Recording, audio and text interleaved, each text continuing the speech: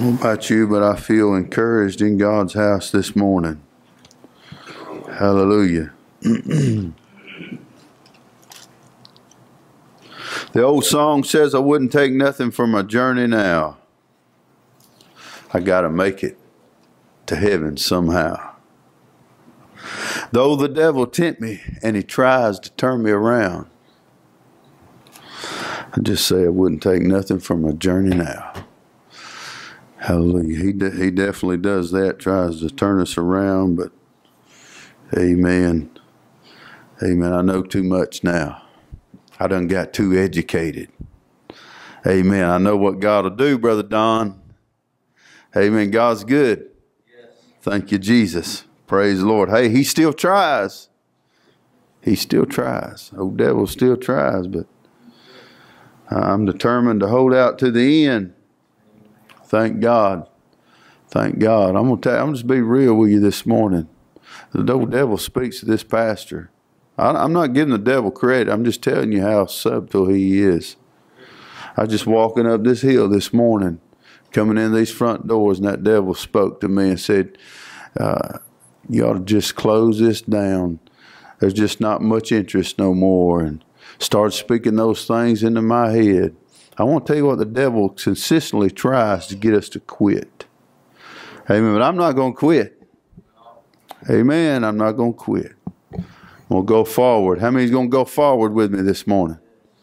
Praise the Lord. We may be feeling a little down, may feel a little weak sometimes, but uh, as I told the kids today, you're going to have those days where you just don't feel like it.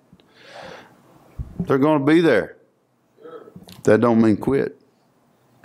Amen. Stay the course. Let's go the word of the Lord this morning. We'll be going to Genesis chapter 25. Genesis chapter 25. We're going to look into uh, a little story about Jacob and Esau. I'm sure very familiar to most of us. Genesis 25. Amen. I sure trust the Lord to help us this morning. Amen.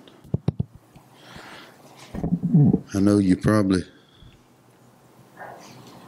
have already eat well on the Word of God this morning, Sunday school, but we could always use more, couldn't we? Amen. Amen. Genesis 25, we'll begin reading verse 29. It says, And Jacob sawed pottage, and Esau came from the field, and he was faint. And Esau said to Jacob, Feed me, I pray thee, with that same red pottage, for I am faint. Therefore was his name called Edom. And Jacob said, Sell me this day thy birthright. And Esau said, Behold, I am at a point to die, and what profit shall this birthright do to me? And Jacob said, Swear to me this day. And he sware unto him, and he sold his birthright unto Jacob. Then Jacob gave Esau bread and pottage and of lentils, and he did eat and drank, and rose up and went his way. Thus Esau despised his birthright. Could we bow our heads and ask the Lord to bless His word this morning? Father, we come to you, ask you, Lord, for your blessings over the word of God. I pray, speak life in our heart this morning. We thank you in Jesus' name. Amen. Amen. I want to preach to you for a little while this morning on don't give up your blessings. Don't give up your blessings. Praise the Lord. I, I need my blessings, don't you? Amen. The Lord has given me something, amen, for eternity. He has given me right to heaven through Jesus Christ. Hallelujah. Amen. And I don't want to give that up. Do you? No, let's don't give it up.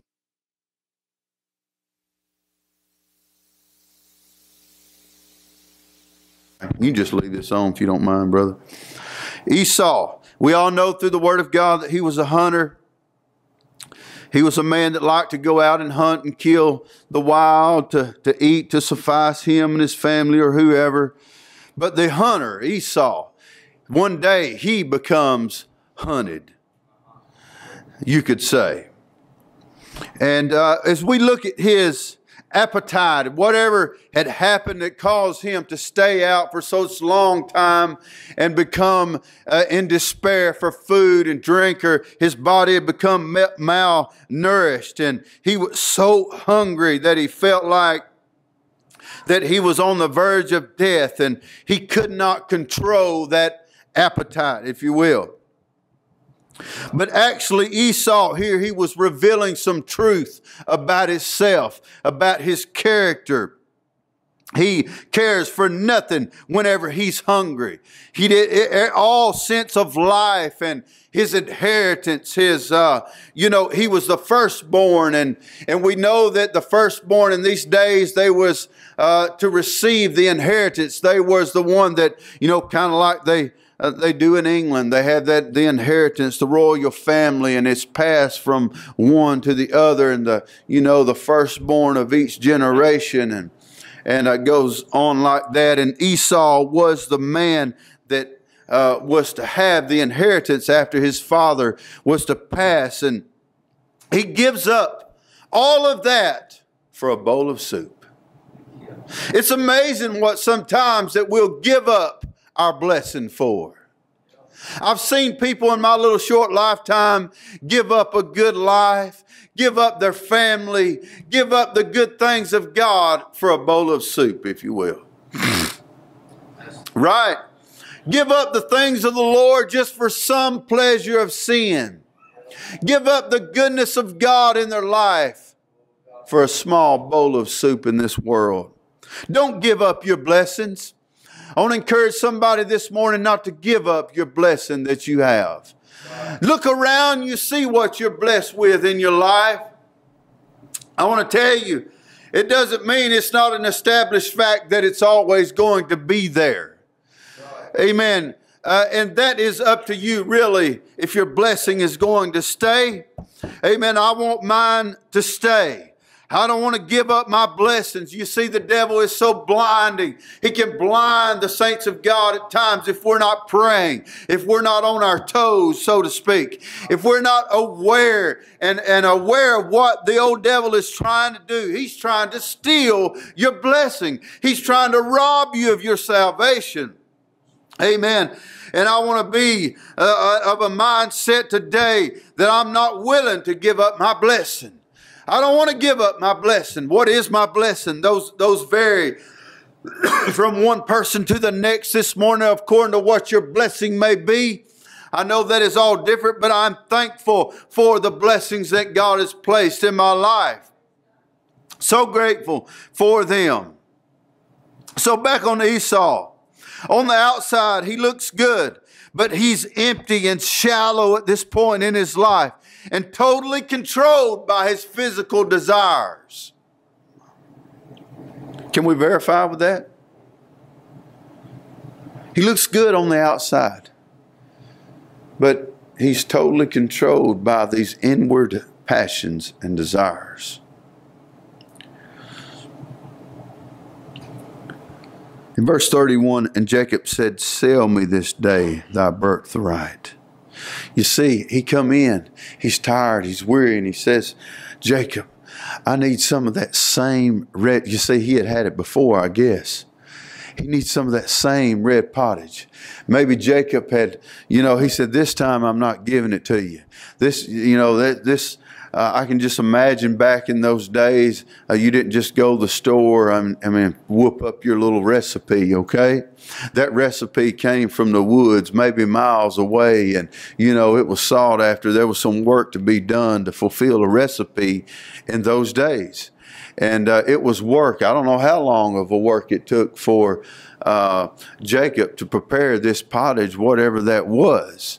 Uh, but no doubt it must have been something of importance that caused him to say, you know what, you're not getting it free this time, buddy.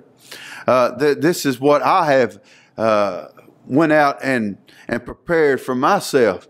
And you know what, you're going to pay for it. If you want it, you're going to pay for it. I want your birthright. You see, many times the devil, he comes at the weakest times in our life.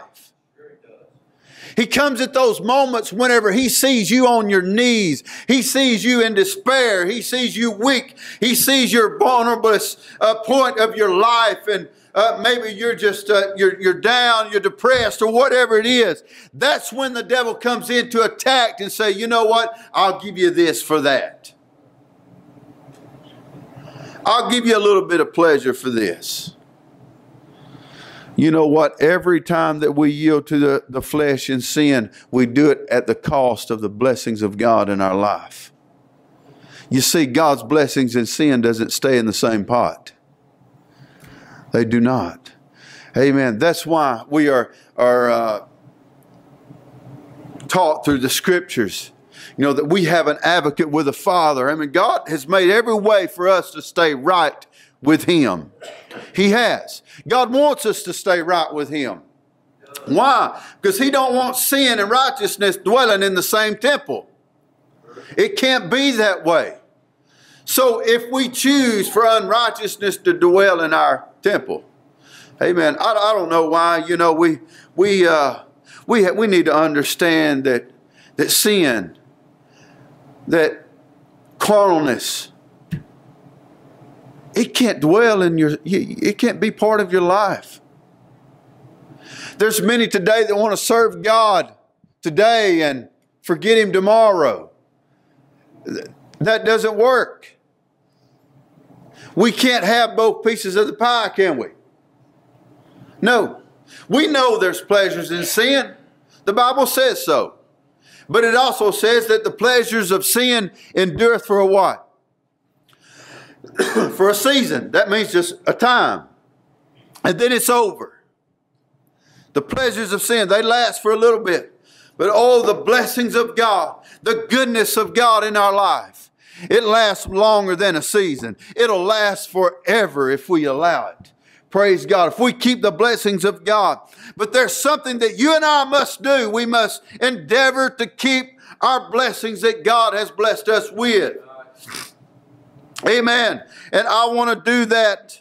Thank God. Hallelujah.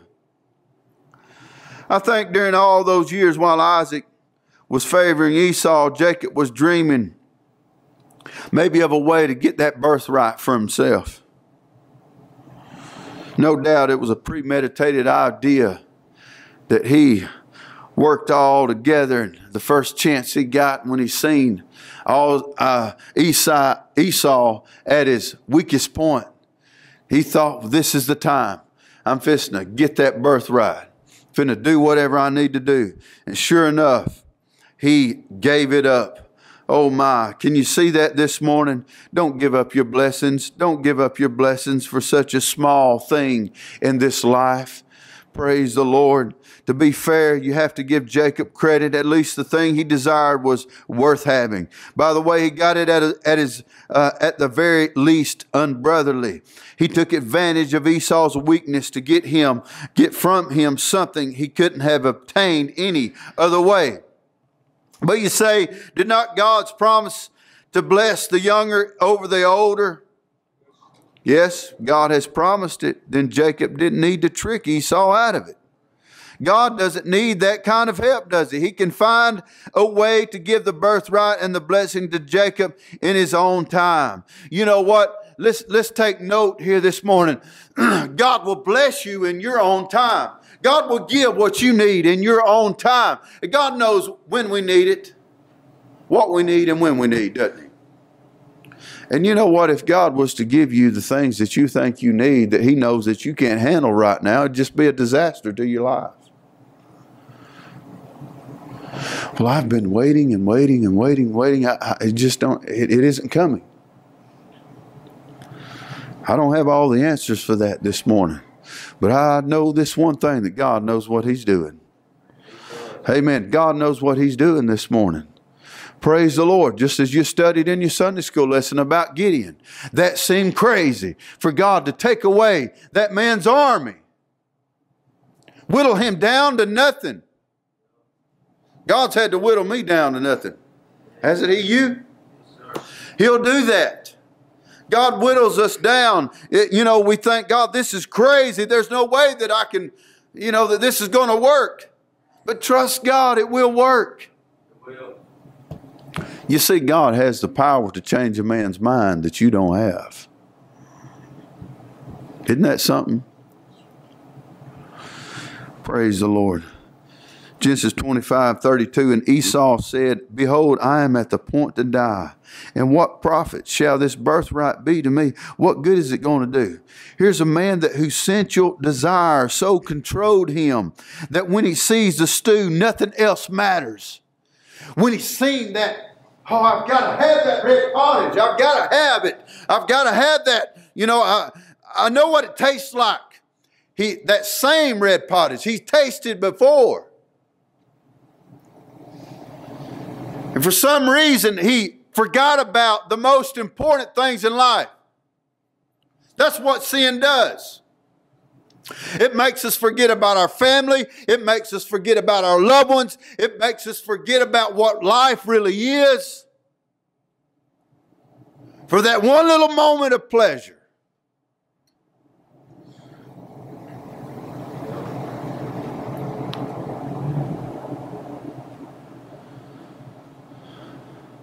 there was a, a bull in a pen. And he seen some other cows in a far distant pen. He had six other cows with him in the pen, and he was the bull of those cows.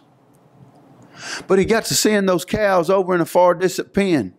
There were several fences between him and those other cows. I'm talking Brother Dwayne's language this morning. And the bull thought, I, I want to get over there to them cows. Don't forget, he had six cows with him. So one day, he took a leap over the fence, cut his belly all up trying to get over that fence. Then he had another fence to get over. And He cut himself again. Then when he finally got over in there in that distant place with them other cows, guess what? It was three bulls.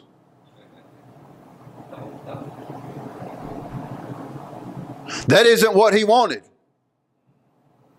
And I want to tell you what, the devil can make you think that you want something over yonder, and it's not what you think. He gave up his life. He gave up what he was made to do in his own pasture, thinking that it was better somewhere else. You see, that's just what the devil does. He gives you a little glimpse of something. He makes you think that this is what it is. He paints a picture. I'm not happy here. I need to be over there. For some odd reason, it just never ends up right, does it? You know what? God wants us to be happy where we're at. Don't waste your blessings. Don't waste what God has placed in your life. The devil would come to some of us and, and try to beat us down and think that, oh, life is just not worth living and you've just got it so bad and this and that and the other. and maybe there are bad things in your life that you wish were different. But trust God, He'll change that in time. He always has, He always will. Amen. Don't give up your blessing. Don't give up your blessing. What such a short sighted vision that Esau had. How many of us here this morning, has the devil convinced us is our vision just sh- so short, so shallow? Oh, that God would open our vision this morning. Oh, and see a bigger picture. Amen. To realize, I mean, sometimes we have to sit down and realize what we have. Amen. Amen. take a list. Take a, you know, look look at other people in this world that are less fortunate than you are. Amen. Maybe I mean, there's always somebody that's got it worse off than you do. Amen. Let's thank God for what we have. Amen. And be thankful and grateful. Amen. For His word says to be content with such things that you have. Praise God. Amen. He was such a sort, uh, short sighted individual here in this time of his life. his desires, his sensual desires here. They controlled him. He, he, sees nothing but a, a bowl of pottage and nothing else matters. He's ready to trade the most important possession of his lifetime, his inheritance, for a bowl of pottage. Wood doesn't mean anything. I'm about to die anyway. How many of us have said the same thing? life is about over. I'm just at the end. There's nothing else to do. There's, there's no way anything's going to come out of this. It doesn't matter anymore. Be careful, my friend, whenever you get to that area in your life. Amen. Many of us have seen right here God take our life and turn it about face. And our heads are still spinning, wondering why how God done it. Amen. You can't outthink God. Whenever you get to that point that you think that everything is hopeless, don't give up your blessing. Don't give up your blessing. Verse 33 And Jacob said, Swear to me this day. And he sware unto him, and he sold his birthright unto Jacob. He's, he's getting the signature. Jacob is. He's getting a bowl of pottage. He's giving it to Esau. Esau, all that Esau could see was that bowl of soup. Nothing else mattered to him. He didn't care, so he gave away that birthright. He was unconcerned of losing out. Then Jacob gave Esau bread and pottage of lentils, and he did eat and drink and rose up and went his way. Now, isn't that just like sin? How that whenever we partake of sin and it satisfies the flesh for a few moments. And then the Bible says that he rose up. He rose up out of the, you know, the setting of eating his supper that he so wanted so badly. And he went his way. And the very next words of this scripture, thus Esau despised his birthright. That haunted him for the rest of his life for a bowl of soup.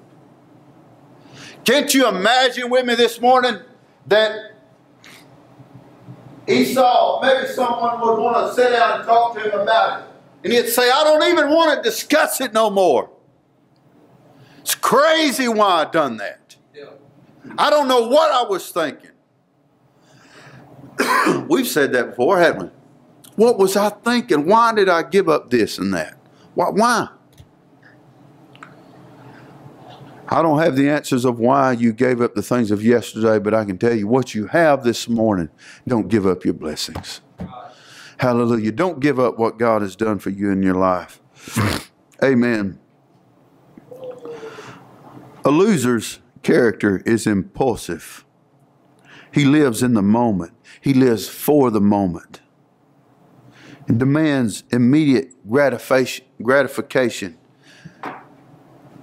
He just wants things right now.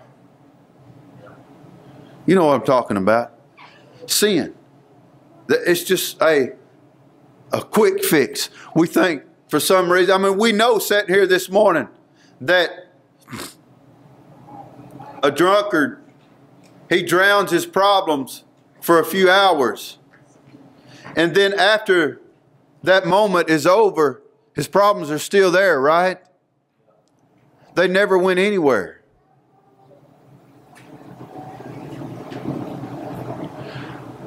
I'm not trying to call anybody a loser this morning. I'm just telling you what sin will cause you to lose.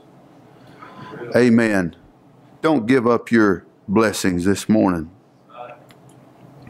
But this is exactly how a lot of people lose their blessings, living on impulse for the moment, for immediate gratification. Many people are like this uh, area in money. Many trade their blessings for all kinds of gratifications in this life. People trade their morality for a few moments of gratification by through impulse decisions, at the moment decisions. Impulse decisions. I want to tell you what, be careful of making decisions just like that. You know what? That doesn't matter. That, not in just that area, but every area of your life. People in the business world will think, oh, you've got to make a decision right now. If you don't trust me, go, go to the car salesman. Oh, it's got to be done right now. This deal is just, just for the next hour, and you know it, it, it's, it's just fixing to go off, and you know that. You know what I'm talking about. This deal won't be here tomorrow. Let, let me see your name and your address, and we got to make a decision today. And you try to walk away and say, "Now let me think about it for a little bit." Well, man, what is there to think about? This is such a great deal, and I mean, just pressure, pressure, pressure. That's exactly what the devil does to you. He's a good salesman, isn't he? You got to make this decision right now. that car salesman is scared that if you walk away and you think about it for a few minutes, it's, it's not sweet as it sounds. Right you get to adding up all the interest and all the payments you're fixing to pay, and, and you think, man, I don't know if I want to do that. And you look around and you find something a little bit more affordable, and he lost out on a sale because you took too long to think. But I want to tell you what, let's think about our decisions that we're making because we don't want to lose out on our blessings. Don't lose your blessings, is what I'm preaching about this morning. Don't lose your blessings. Don't give up your blessings. Amen. Just like Esau done, he just gave it up for something so insignificant. The world says to us, live for today and forget tomorrow. They don't see the consequence, though. But God would say, live wisely for a better tomorrow. Ephesians 5, verse 15 See then that you walk circumspectly, not as fools, but as wise. I want to tell you what, fool, live wise now. It'll prepare you for the blessings for tomorrow. Amen. We need some wisdom, don't we? God will give us that wisdom. Praise the Lord. Look at what Esau lost. He lost a double inheritance. If we understand the biblical background, birthright was the most prized possession of the oldest son. He would be given an extra share of his father's property. He lost the promises of God by giving up the birthright. Esau gave up those promises that God had given to Abraham. He was right in line to receive all those promises given and he messed it up over a bowl of pottage. Esau gave up his power, he gave up his authority. As head of the whole family, you see his father's absence, the firstborn son had authority over his younger siblings. Esau had it all. As the firstborn, he had inheritance, power, and the promises of God. He had everything he wanted, yet traded it all for that bowl of soup. Are you with me this morning? God has given us every blessing, every blessing. Esau had through Abraham. You see, Abraham, Esau had these blessings through Abraham. Just as Esau had it, we have those blessings through Jesus Christ.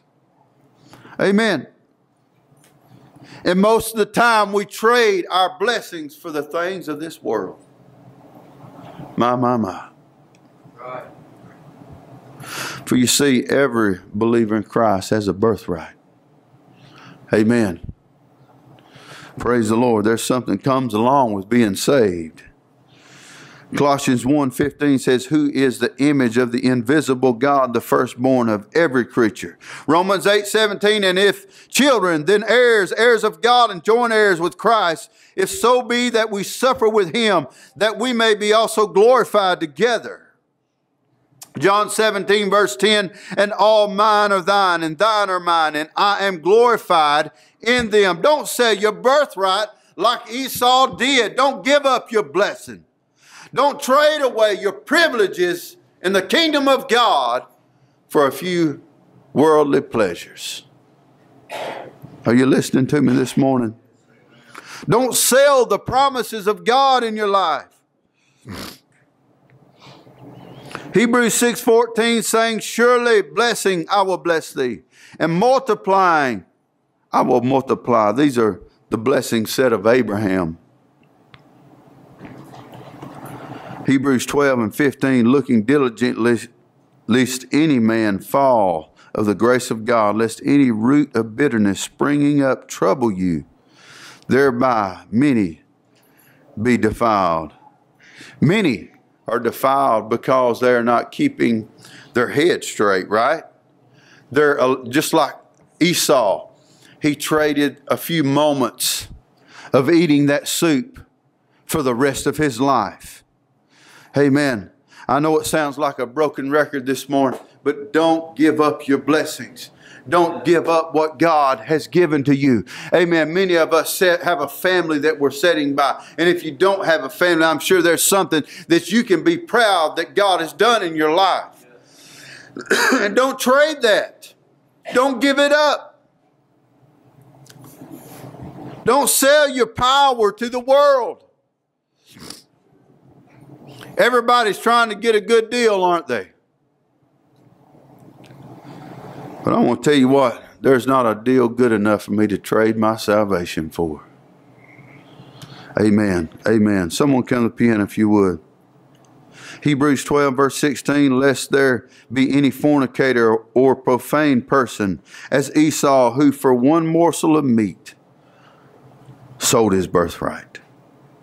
For you know how that afterward, when he would have inherited the blessing, he was rejected for he found no place of repentance.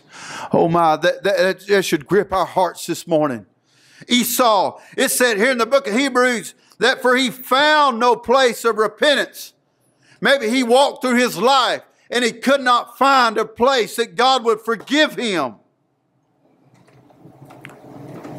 Read it for yourself this morning. Hebrews 12, 17.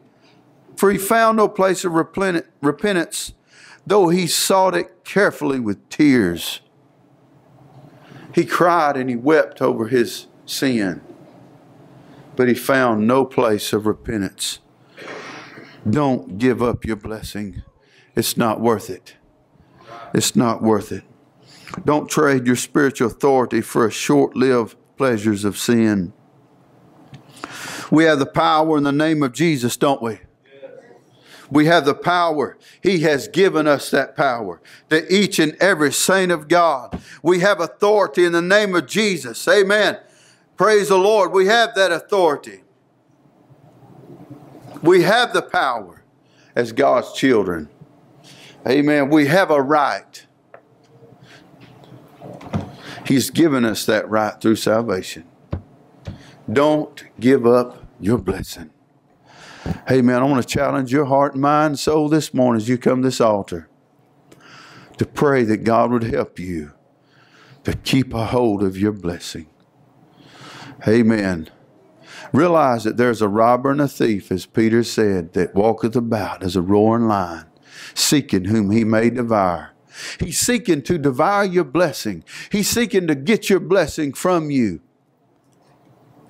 But by God's grace and help, amen, I want to retain mine. How about you? Amen. Let's all stand. Praise the Lord. Father, we thank you this morning for each and every one, God, as we're able to hear the word of the Lord this morning. I pray, God, for the blessings and encouragement upon the altars. We pray. Amen. Amen. Let's come around.